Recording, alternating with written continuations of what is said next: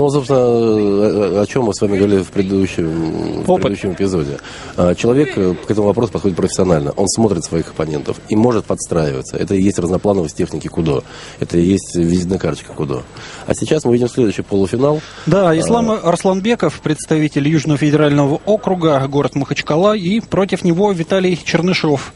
Опять же, город Магнитогорск. Магнитогорск. Тоже крайне любопытная пара будет. В последнее время очень неплохо себе заявила Магнитогорская школа.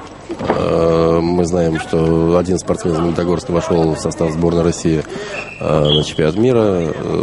Два спортсмена из Магнитогорска заняли первые места на Кубке России в мае прошлого года в городе Тюмени.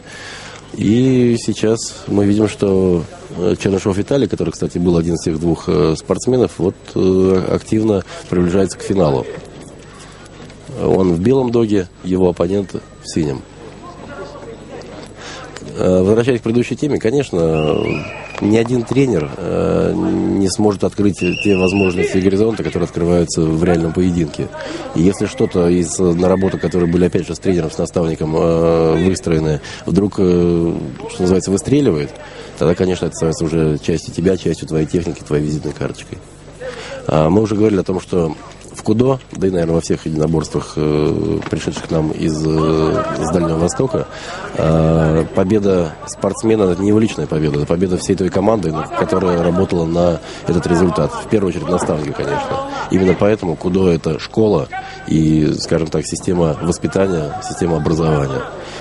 То, чего сейчас так не хватает, к сожалению, нашему обществу. Ну, Александр, вы прямо как-то ну, совсем уж не, не захоронили, конечно, но а, не, не все, наверное, так Знаете, плохо. дорогу осилит идущий, и мы делаем свое дело, делаем, мне кажется, на сегодняшний день весьма успешно. Один из грамотных принципов, который вы только что озвучили, начинать-то надо с себя. Однозначно, конечно. И третье место у нас призовое.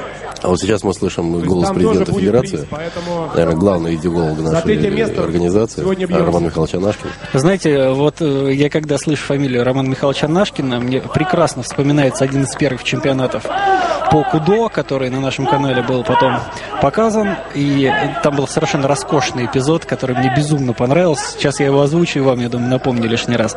Когда один из спортсменов проявил какую-то долю, причем неуважения по отношению а, к выставленной судейской оценке, Роман Михайлович тогда встал в президиуме и сказал, пожалуйста, уважайте своих соперников. Если вы всегда хотите выигрывать, возьмите автомат.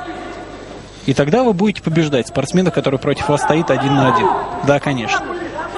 Вот, вот этот эпизод мне почему-то очень сильно запом... запомнился. А, да, несмотря на то, что регулярно позицию президента и руководства критикуют, но мне кажется, что в этой ситуации, кстати, критиковали по поводу выбора спортсменов в сборной России, и это тоже было. Выбора видим, спортсменов? Да, мы видим результат и результат показал, что все было сделано правильно. Это вы сейчас применимо к завершившемуся чемпионату мира, я Совершенно понимаю. верно, да. Потому что, конечно же, в любом случае все довольными не будут. Когда четыре человека претендуют на попадание в сборную, а едет всего двое, есть э, спортсмены, есть э, наставники, которые считают, что можно было бы и по-другому построить победу одержал Чернышов Виталий. Ура! Сколько людей, столько мнений, как говорится. Ну, а здесь э, Виталий Чернышов с оценкой, с разницей в одну коку выходит в финал, где его будет ждать.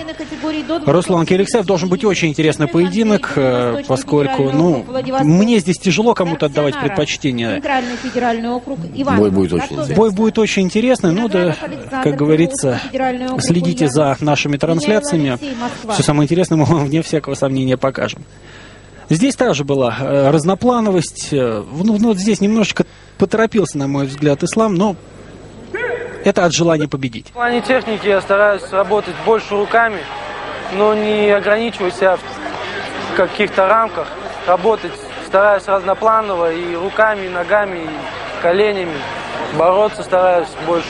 То есть стараюсь показать все, что я могу.